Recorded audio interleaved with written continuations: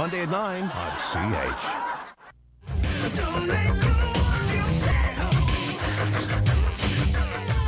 Our hosts visit Dr. Scott Levine, chiropractor to the rock stars, as he demonstrates a serious piece of technology, and Orlando finds out how messed up he really is. We have hundreds of thousands of nerves communicating in our body, and they all start from the spine. Dr. Scott, you're a chiropractor and you look at spines every day. Now, what, do, what does the nervous system and the spine have to do with strength?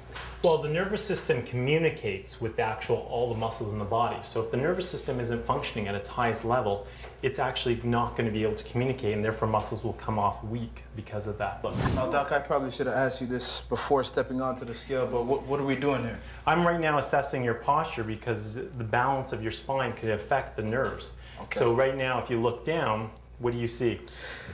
133 over here and 113.5 over here. Right, so you have 20 pounds greater pressure going down on the right side. I'm going to show you what it looks like to be you from behind. Okay. Uh, you have a one and a half inch lean to the right.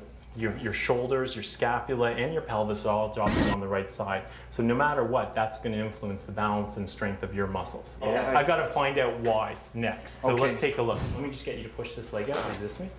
Okay, so that's a little bit weak. Push that leg out. And you see how that locks? That's strong. So we know that something's going on with the right leg. Yeah. Now I'm going to check your shoulders. Okay. Just to see. Let me just check this. Push straight up. Very strong. And push this up. And it gives a little bit. So we have something going on with a weakness in your right leg right now and your right shoulder. So now let's see how, how the nerves are communicating with the muscles along the spine. Just look straight ahead. Okay. And, then this, would affect if we're working out or doing any sort of, uh, let's say, vigorous workout or some sort of exertion. Absolutely, because if the nerves aren't communicating properly, then the muscles won't be working properly. And if there's a weakness, you will never be able to get stronger than your weakest muscle. So, so how do we correct some of these imbalances that we're that we're seeing? Well, if an area isn't communicating with the nerve properly, and we're now right now looking at the spine, then as a chiropractor, I would adjust that area of the spine. Well, we would actually give um, Orlando specific exercises, and in this case, we'd be try- trying to strengthen his imbalance, his weaker side. And how we do that, for Orlando, I'd start giving him one legged type things, like or- let's say lunges. Start with your weaker side. We know that's your right side right now. And then we, you, let's say you can only get seven reps with a weight. Then I'd want you to only do seven reps with the left side, your stronger side. And this way, we'd start moving towards a balanced body. Okay. So this is your symmetry. So that's the most important scan.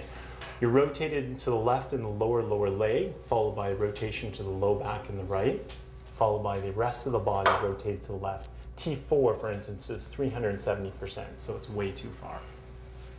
So now we'd have to start getting you aligned. Any comments, Orlando? Whew. Seems like I got my work cut out, man. This is um. This is tough. I feel messed up right now, man. I mean. Well, there is a solution. That's the best Well, part. th- well, if there's a light at the end of the tunnel, then let's let's get at it. Man. People generally look at me and say, "You look healthy. You look pretty fit. Like you're in good shape." So you make the same mistake as most people do that they equate health with a lack of symptoms. Yeah. And that's why we do this type of testing because not everyone is healthy that has no symptoms. Yeah. Okay. Well, I'm glad I'm here, man, because I got some work to do. Uh, starts with the testing, obviously. Right. To be A good assessment. With a, a solid assessment to understand kind of where the imbalances are. And once you've done that, then you got to sit down and you got to work out a game plan. And you could only do that with someone who's qualified to be able to guide you through that process. So, Well, luckily, usually this is in confidentiality. Yeah. Most people don't know how messed up you are. okay. So, um, We know. We know. atrás.